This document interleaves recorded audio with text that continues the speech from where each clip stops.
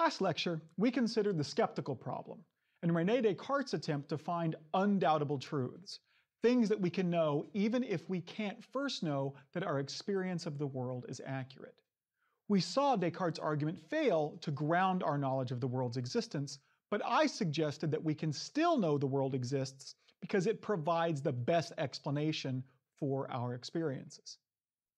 But even if we ignore all that and simply grant that the world exists, we're still left wondering just how accurate is our knowledge of the world? Do our beliefs really reflect the way the world is?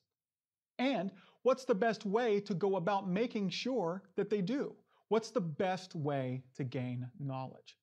To answer these questions, we need to explore the philosophy of empiricism. Now, Descartes was a rationalist. He thought some beliefs can be justified a priori justified without or before having any sense experience. Conversely, the empiricist maintains that we can't know anything without sense experience. So, not only is it the best way to gain knowledge, it is the only way. The first major empiricist was the British philosopher John Locke, who, in his 1689 book, An Essay Concerning Human Understanding, suggested that we are born tabula rasa, as a blank slate. When we are born, our minds contain no ideas, and we only start to form ideas once we have sense experience. Now, by idea, Locke doesn't just mean a revelation, like, I have an idea, let's go get some Thai food. Although that would count as an idea, for Locke, an idea is anything in the mind beliefs, sensations, private thoughts, mental talking, etc. According to Locke, we get ideas in two different ways by sensation, observing the world, and reflection, observing our own mental operations. The former generates simple ideas like heat and solidity, shape and taste. The latter generates ideas of perception, doubting and reasoning. We can combine these ideas to come up with new, unique, complex ideas but we can't generate new simple ideas on our own. So ultimately, everything in our mind, according to Locke, traces back to something we learned through our senses. So, since knowledge is justified true belief and truth is correspondence with the world, if we want to know how accurate our knowledge is, we need to know whether the ideas in our minds correspond to the way the world is. To put it in Lockean terms, we want to know whether the idea in our minds resemble the properties or qualities in objects that produce those ideas. So, for example, my idea of solidity was produced by the first solid object I saw. Did the quality of solidity that that object had actually resemble the idea it produced in my mind?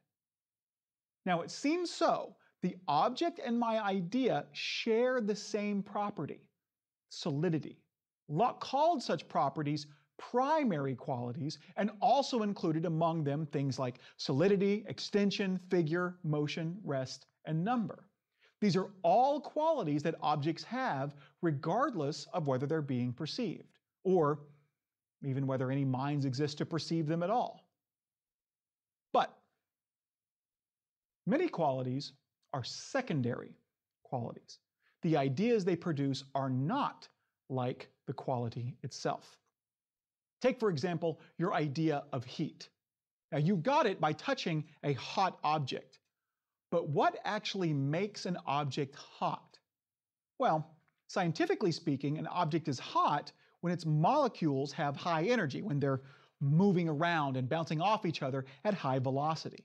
The more movement and speed they have, the higher the object's temperature.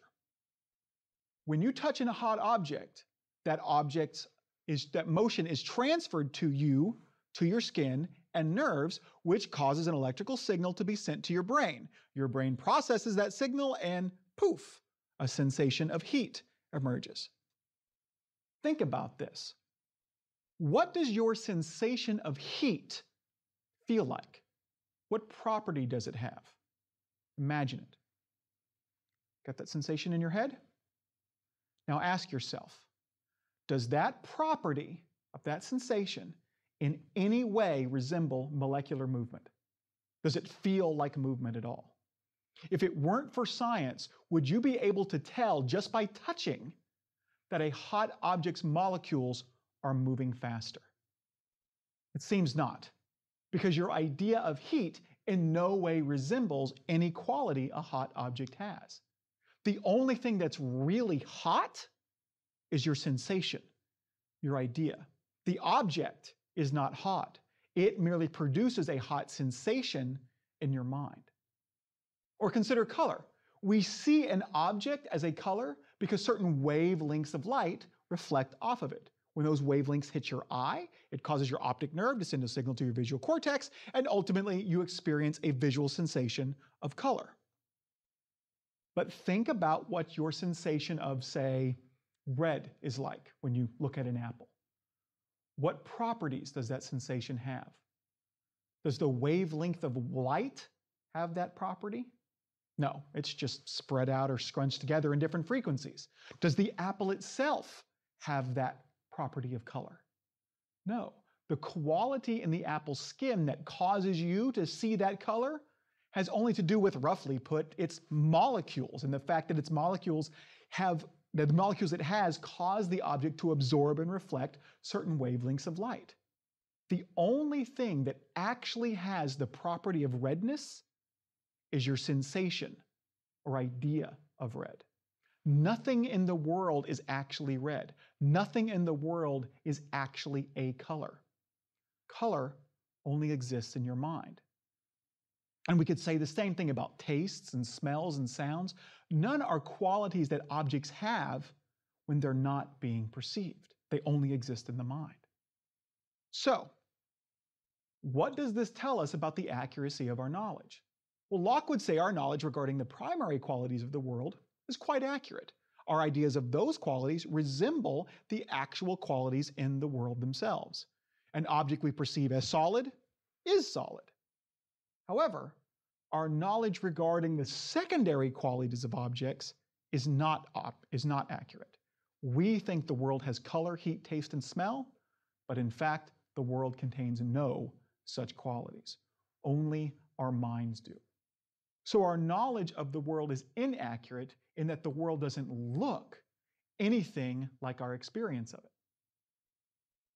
When I think of this, I can't help but think of Dressgate, that stupid online controversy in February of 2015 about whether or not that dress was blue and black or white and gold. Well, what's the right answer? It's neither. It's not any color at all. Color is a property had only by our experiences. And since the light waves the picture of that dress produce are on the borderline, in some people they produce a black and blue experience, and in others they produce a white and gold experience. But it's not like there's some objective fact about what color the dress is. There are only facts about what wavelengths of light the dress reflects and how different people's brains interpret them. The vitriol that controversy produced in people could have been avoided if they would have simply realized that, at least when it comes to secondary qualities like color, we don't actually see the world as it really is. Unfortunately, science has actually banished many of Locke's primary qualities into the realm of secondary qualities. For example, consider his example of solidity we perceive as solid some objects when in reality they are mostly empty space. In fact, all objects that are solid are mostly empty space. Even the atoms that make them up are mostly empty space. We call objects solid when they won't pass through each other, but solid objects don't pass through each other merely because of the way their atoms interact, but the atoms never actually touch. And if we factor in quantum mechanics, even the particles that make up atoms, like electrons and protons, they're not solid either. They are probabilistic wave functions that take on properties like location and velocity only when they are measured. And even then, they can only take on one such property at a time. So, things are not looking good if we think our knowledge of the world is accurate. But around 1740, another empiricist, David Hume, raised even deeper questions about the accuracy of our knowledge in his book, A Treatise of Human Nature. Hume divides the content of our minds into impressions and thoughts. An impression, which is very vivid, is a sensation that you are having right now. For example, you are having an impression of the sound of my voice. A thought is less vivid, like a memory of an impression. Although you are having an impression of my voice right now, as soon as I stop speaking, you will only have a thought, a memory of what it was like. Well, Hume says our ideas are related in three ways resemblance, contiguity, shared location in time and space, and cause and effect. If our ideas about two objects in the world resemble each other, then we think the objects in the world resemble each other. If the ideas in our mind are contiguous, close to each other in time and space, then we think the objects that produce those ideas are contiguous. And if we think our ideas are causally related, one causes the other, then we think the objects in the world that produce these ideas also share a causal relation. Now, Hume thinks our knowledge about the relationship between ideas can be accurate, the relationship. For example, I can know exactly how my idea of the number two relates to the idea number one. So, Hume thinks our knowledge of things like geometry and math is on pretty solid ground. But our knowledge of matters of fact, our knowledge about the outside world, is quite subject to doubt. Hume says this is because our reasoning regarding matters of fact is founded largely on conclusions that we have drawn about the causal relationship between things in the world. We gain knowledge of matters of fact through cause and effect. And this seems right. To gain almost every piece of knowledge we have, we rely on some assumption regarding cause and effect. I, for example, think that my legs are causing me to stand upright, and that the floor is causing me not to fall a few stories to my death, that my vocal cords are causing sounds to be produced, that this microphone is causing my voice to be recorded, and so on. But Hume argues our knowledge of causation and causal relationships between objects is on very shaky ground. To know that two things, let's say alpha and beta, are causally related, we need to know that there is a necessary connection between them. That, in other words, in the future, every time alpha occurs, beta will immediately follow it. But we certainly aren't born with such knowledge. Hume's an empiricist, so he doesn't think we are born with any knowledge. And even if he's wrong about that, we definitely are not born with knowledge of a necessary connection between objects. Even something as simple as when I slap my hands together, it makes a clapping sound, is learned by experience.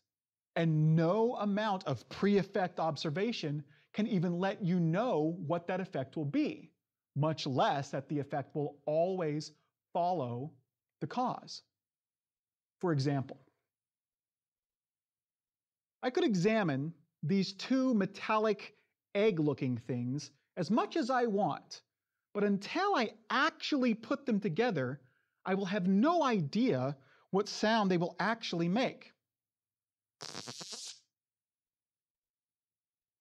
Ultimately, we have no direct impression that leads to our idea of causation, our notion that two things are necessarily connected. Hume suggests we infer a causal relationship and thus conclude that when one occurs, the other one will always follow when we observe events sharing the following properties continuity, uninterrupted connection, succession, or union, priority in time, one happens right before the other, and constant conjunction. They always happen together. And it seems that he's right. When we continually see two events in uninterrupted succession, one right after the other, we infer a causal relationship between them. If beta has always happened right after alpha, then we conclude that beta will always happen right after alpha. In other words, that they are causally connected. But we only do this, Hume argues, because of habit or custom, not because of reason. So, what we call a cause is not really a cause. It's just an event or object that is so tied in our imagination to another event that we cannot consider one without considering the other. And Hume thought this because meeting those criteria is not enough to guarantee a causal relationship. Take day and night, for example. They exhibit continuity, priority in time, and constant conjunction. Day has always immediately followed night. But day does not cause night, nor does night cause day. The clock on my dresser showing 11 o'clock p.m. is always conjoined with my being tired. But the clock does not cause me to be tired. Recall the causal fallacy we mentioned in a previous lecture. Correlation does not entail causation. It seems that all of our reasoning regarding causation is fallacious. It's based on that fallacy. Simply put, to have knowledge of causation, we would have to have knowledge of the future. To know that every time, past, present, and future, when alpha occurs, beta will occur. But of course, we can't see into the future. For all we know, the next time alpha occurs, beta won't occur. We can't know there is a necessary connection, and thus we cannot infer causation. Since knowledge of causation seems to be what most of our knowledge regarding the world is grounded upon, our ability to have knowledge of the world seems greatly diminished. To solve this problem, one might be tempted to employ some basic inductive reasoning. If I've always seen beta following alpha in the past, I can simply infer that it always will in the future. Fair enough. But Hume points out that while it's true that you could use induction to derive that conclusion, to trust that conclusion, you would have to show that induction is reliable, that the conclusions of strong inductive arguments are usually true. All induction is based upon the presumption that the future will resemble the past, so you would have to show that that assumption is reliable in order to trust that conclusion. Now, we might be tempted to think that we can prove this. So let me give it a try. Every time I clap my hands, it made a sound. Therefore, I infer that the next time I do so, there will be a clapping sound. Success. The future resembled the past. Induction worked. Let's do it again. Good. Good. It worked. The future just resembled the past three times. Therefore, I infer that the future will always resemble the past. So induction is reliable. Did you catch the error? Ultimately, what mistake did I make? What am I trying to prove? That induction is reliable. Yet, what kind of argument did I just give? An inductive argument. I'm assuming the future will resemble the past to conclude that the future will resemble the past. So I'm just begging the question or arguing in a circle. I'm simply assuming the truth of what I'm trying to prove. But it seems that there's no other way to prove that induction is reliable. So we simply have to assume that induction is reliable. We have to assume that the future will resemble the past. But if we assume it, it doesn't seem that we know it because we can't justify a belief by merely assuming it. So we don't know that induction is reliable. And if we don't know that, we can't have knowledge of causation. And if we can't have that, we can have no meaningful knowledge of the world. This is what is known as Hume's problem of induction. And it's still considered unsolved by many philosophers. But there are a couple of ways of responding to the threat to our knowledge that empiricism poses. One such response lies in idealism, like the idealism of philosopher George Berkeley concerning the principles of human knowledge was published in 1710. In response to the suggestion that our idea of objects do not match up to their subjects, the material objects that the ideas are supposedly of, Berkeley suggests that our ideas are the subject. So all that really exists is ideas. That's why he was called an idealist. For he believed that to be is to be perceived. Berkeley argues that when I perceive an object like a Rubik's Cube, all I am perceiving is my own sensation, a cube like structure with various colors on every side. But of course, the only thing that actually has that structure and those colors is my experience, my idea of the cube. So it must be that the cube is actually just my idea of it. As you can imagine, Berkeley's idealism is considered a hard philosophical pill to swallow. There are no material objects, there's only ideas. Well, then where do the ideas come from? If to be is to be perceived, then things don't exist unless someone is looking at them. While I might believe that as an infant, can I really rationally believe that as an adult? To solve this problem or answer this objection, Berkeley interjects God as a necessary component of his theory. All things exist at all times because they're being perceived by God, and we have the ideas we do because God produces them in us. But if we're looking for a foundation of knowledge, Berkeley's philosophy is not going to serve us well. It relies on knowledge of God's existence, and that's going to be much harder to establish than knowledge of the world. Besides, by my estimation, if your theory is in trouble and the best you can do is say, uh, God did it, then you're basically admitting that the theory doesn't work. Another approach to resolve the problem posed by empiricism is that of the 18th century German philosopher Immanuel Kant. In his critique of pure reason, Kant essentially tried to find the middle ground between the rationalism of philosophers like Descartes and the empiricism of philosophers like Hume and Locke. His is a kind of synthesis of the two theories that recognizes the strengths and weaknesses of both. For example, Hume divides our knowledge into, into knowledge of relationships between ideas and matters of fact, a division that rationalism agrees with. For Hume, the former includes the relationships between ideas that we find in mathematics and geometry, like the Pythagorean theorem, and things that are true by definition, like all bachelors are unmarried. It is here that we can find things that are necessarily true, that are called analytic.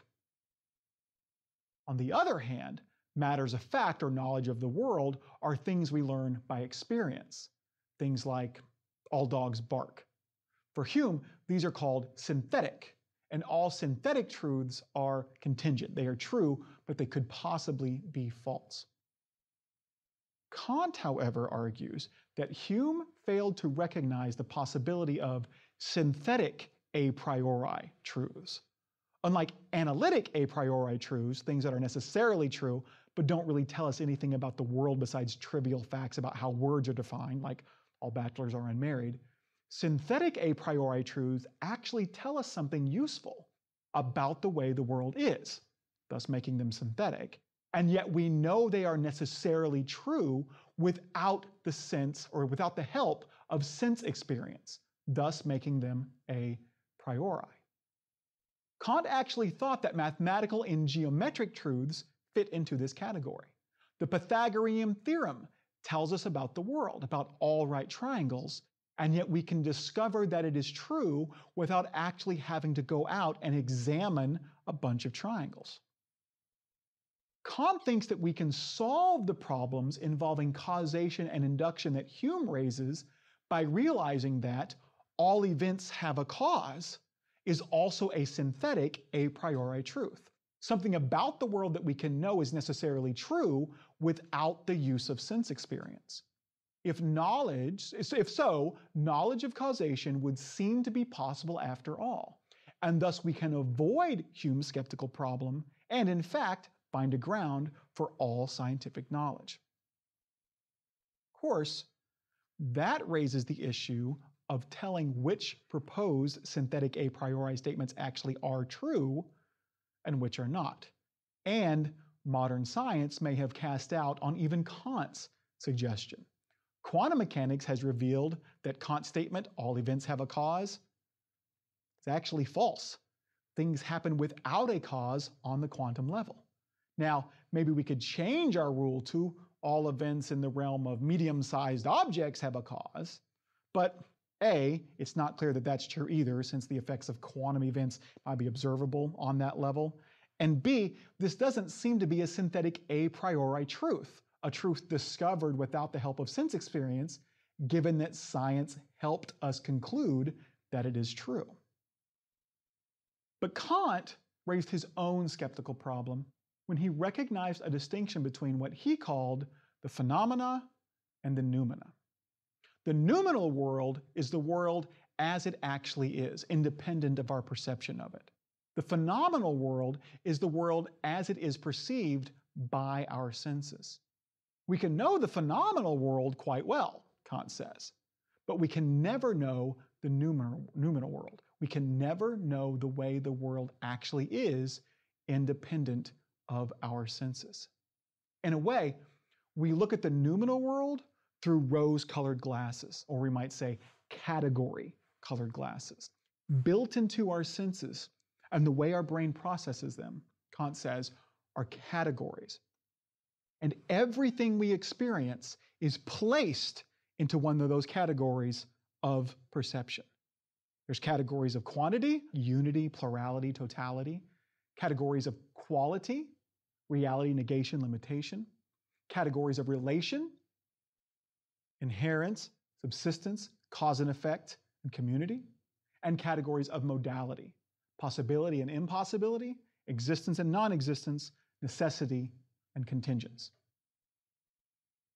Our perception of the world through these categories makes the world seem a certain way to us. But it's not like it actually is that way. In the same way that rose colored glasses make things seem rosy when they're not, our category glasses make the world seem to have quantity and quality and relation and modality when in fact it does not. How the world really is will forever be beyond our grasp, Kant says. Now, there have been various responses to Kant over the years. I think one is quite telling. And given some of the examples we've used, it might be obvious. Throughout this lecture, to show that our experience does not match up to the way the world is, I've given examples of ideas of or perceptions that don't reflect the way the world is. For example, we know that our idea of heat doesn't match up with what causes it, the excitement of molecules. We know our perception of solidity does not match up with the fact that material objects are mostly empty space. We might even say that quantum mechanics proves Kant's points about how our categories force us to see the world in a way other than it actually is. Even though I know that all matter is fundamentally a wave function, and that particles can have both a cannot have both a precise position and momentum at the same time, I'll never be able to perceive the world in that way, or really even fully understand what that means. But wait a minute. If we can know the world only through experience, and our experience doesn't reveal how the world really is, then how do we know that heat is the excitement of molecules, that solid objects are mostly empty space, and that matter is quantum wave function weirdness? We know these things through science. And the strength of science lies in the fact that it appreciates and even is motivated by something agreed upon by rationalists, empir- empiricists, and Kantians alike that our experiences are inaccurate, that they can easily be led and lead us astray. They can generate erroneous conclusions. They can make the world appear in a way different than it actually is. Our senses and our experiences they produce are far from perfect. So the mere fact that you experience the world a certain way is not enough to establish that the world actually is that way, nor is the fact that many people have experienced that way. But the method of science itself is structured to guard against such shortcomings. In order for a theory about the way the world is to be acceptable, it not only has to make correct observable predictions, but it also has to provide the most wide scoping, simple, conservative explanation. Of course, a theory could be wrong, and if it is, we couldn't rightfully claim it as knowledge. But if it is true, and it does provide the best explanation in this way, we could rightly claim to have knowledge, for it would be justified true belief, a belief beyond a reasonable doubt. And by taking this approach, science can actually tell us the way the world actually is. We'll never be able to perceive the world as it actually is. Our senses by themselves are just too limited. But we can come to know the way the world actually is by accepting the most adequate hypothesis about its nature. So, we can now offer at least a limited answer to the question of this lecture. How can we best acquire knowledge? If we're simply looking for knowledge of the phenomenal world, the world of our experience, then most of the time our experience will do. And that is useful knowledge to have, given that we primarily live in the phenomenal world. But we still need to realize that our perceptions can lead us astray, and we never want to fool ourselves into thinking that experience represents the way the world actually is. For the most accurate knowledge of the way the world is, we need to rely on science, aka natural philosophy. It's worth noting that by rejecting Descartes' idea that knowledge requires certainty, and by embracing the idea that knowledge of the world can be acquired through inference to the best explanation, we are almost directly in line with the pragmatist, especially John Dewey, who thought much of our knowledge was derived in this way. But of course, as we've discussed before, knowledge of the world is not the only kind of knowledge we're concerned with. We want moral knowledge and religious knowledge and metaphysical knowledge too. And for that, science can't do much. We'll have to continue to do some philosophy. But there's one more challenge to the possibility of knowledge that we need to consider first. This entire lecture, I've been asking whether we can have a justified true belief about the way the world is. And I've been couching this in terms of whether we can have knowledge of the way the world is. And that's because, as I've been for a few lectures now, I'm assuming that knowledge is justified true belief. But there are some who challenge that idea. And it is to that challenge that we shall turn next lecture.